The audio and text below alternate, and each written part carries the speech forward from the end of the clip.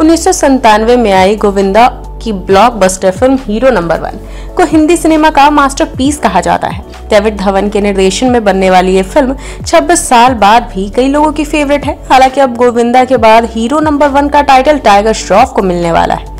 गणपत की flop opening के बाद टाइगर वासु भगनानी और जैकी भगनानी की action thriller film hero number one में नज़र आएँगे।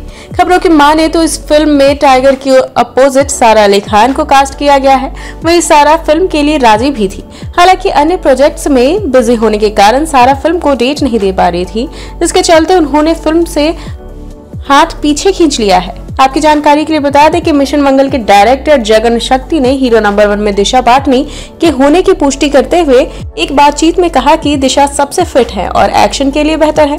सारा अली खान ज़ाहिर तौर पर इस फ़िल्म का हिस्सा थी, लेकिन दुर्भाग्य से डेट्स को लेकर बात नहीं बन सकी।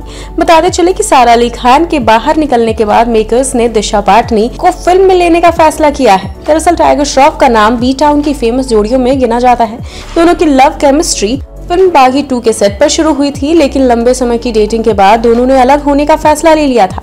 ऐसे में ब्रेकअप के बाद टाइगर और दिशा पहली बार साथ में स्क्रीन शेयर करने वाले हैं। Tiger Shroff starrer film hero number one love triangle पर आधारित है, जिसमें टाइगर और दिशा के अलावा ऋतिक रोशन की भतीजी पश्मीना रोशन भी इस लव ट्रायंगल का हिस्सा बनेंगी। पश्मीना इससे पहले रोहित श्रॉफ और जबरान खान के साथ फ़िल्म इश्क विश्क में काम कर चुकी है। बागी स्टार टाइगर श्रॉफ की फ़िल्म गणपत बेशक फ्लॉप साबित हुई है, लेकिन टाइगर की प्रोजेक्ट लिस्ट में कई बड़ी फ़िल्मों के नाम शामिल है। हीरो नंबर वन के अलावा टाइगर जल्द ही अली अब्बास ज़फ़र की फ़िल्म बड़े मियाँ छोटे मियाँ में अक्षय कुमार के साथ स्क्रीन शेयर करेंगे। इसके अलावा टाइगर रोहित शेट्टी के निर्देशन में बनने वाली फ़िल्म सिंघम अगेन में एसीपी सत्या रोल अदा करेंगे। इस फ़िल्म में टाइगर के साथ अजय देवगन, दीपिका पादुकोण और रणवीर सिंह मुख्य भूमिका निभाएँगे।